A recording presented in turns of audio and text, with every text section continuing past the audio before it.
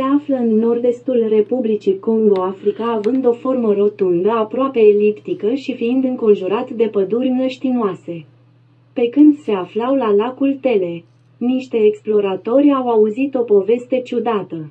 Câteva luni înainte, în februarie 1981, populația locală descoperise plutind pe apă stârvurile a trei elefanți adulți.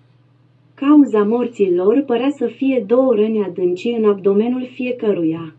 Rănile nu erau provocate de gloanțe, iar elefanții posedau colți, ceea ce indica faptul că aceștia nu fusese uciși de braconieri. Indigeni considerau că elefanții fusese uciși de un animal misterios cu coarne, care trăia în pădurea din apropiere. Această ființă e numită Emelantu ca ucigașul elefanților. Diferitele relatări au descris-o în mod consecvent ca un animal de dimensiunea unui elefant. Cu picioare puternice pe care se sprijină trupul masiv, nu ca la crocodil care are picioarele în părțile laterale, precum și o coadă lungă și groasă. Capul are în general aspectul unui rinocer, cu un singur corn pe frunte. Este semi-acvatic, mănâncă ierburi și frunze și omoară elefanți și bivoli cu cornul său mare și ascuțit. S-ar asemăna cu un dinozaur.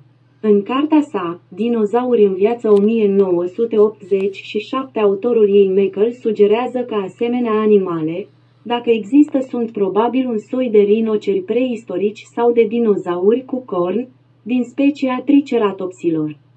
Dacă specia menționată la început, atunci trebuie că este mamifer. расположены на северо-востоке Республики Конго. Африка имеет круглую форму почти эллиптической формы и окружен заболоченными лесами. Пока они были на озере Теле, некоторые исследователи услышали странную историю. За несколько месяцев до этого, в феврале 1981 года, местное население обнаружило плавающие на воде бивни трех взрослых слонов. Причиной их смерти стали две глубокие раны в области живота у каждого. Раны не были нанесены пулями, а у слонов были бивни, что указывает на то, что они не были убиты браконьерами. Туземцы считали, что слонов убило таинственное рогатое животное, обитавшее в близлежащем лесу. Это существо называется Емилаэнтука, убийца слонов.